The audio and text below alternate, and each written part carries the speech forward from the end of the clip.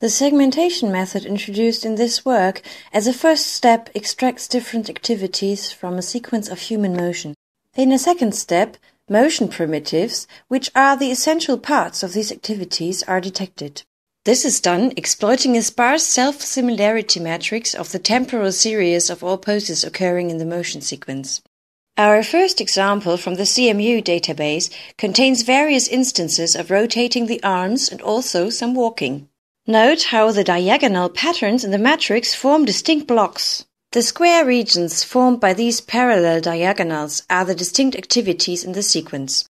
The diagonals indicate the various similar motion primitives in each structure. Here is what the activities and primitives look like. Walking consists of double steps indicated as light blue segments in the bar below.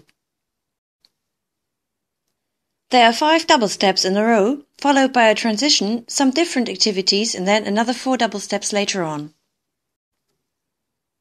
The color codes indicate how the motion primitives were clustered according to their similarity. For example, the four instances of rotating the left arm, which correspond to the red area below.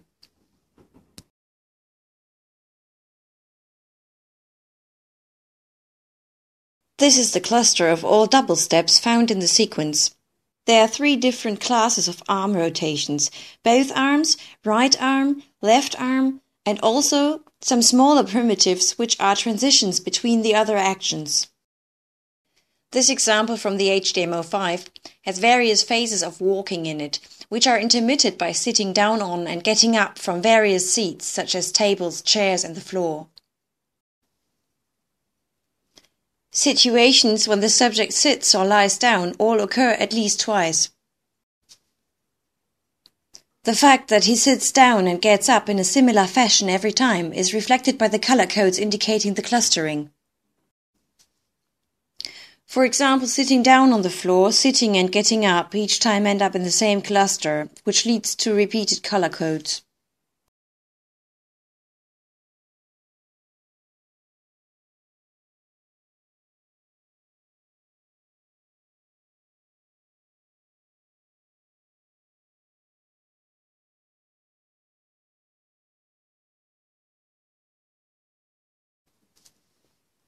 The resulting clusters are walks, T-pose, some different ways of sitting on chairs, tables and the floor, also two times lying down for different amounts of time.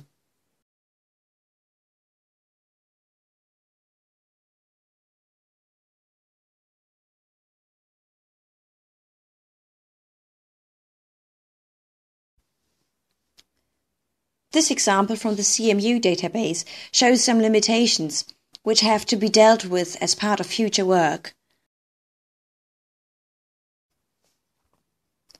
Although the displayed activities from the field of maintenance are separated correctly, there are some situations where the motion primitives are not detected as one would guess. Throwing away dirt actually consists of several similar primitives, namely the brush strokes involved in brushing dirt off the tool. However, the yellow segment in the bar just consists of one single piece. Our method will soon be modified to be more adaptive towards smaller local changes in the subject's behaviors in order to deal with such issues.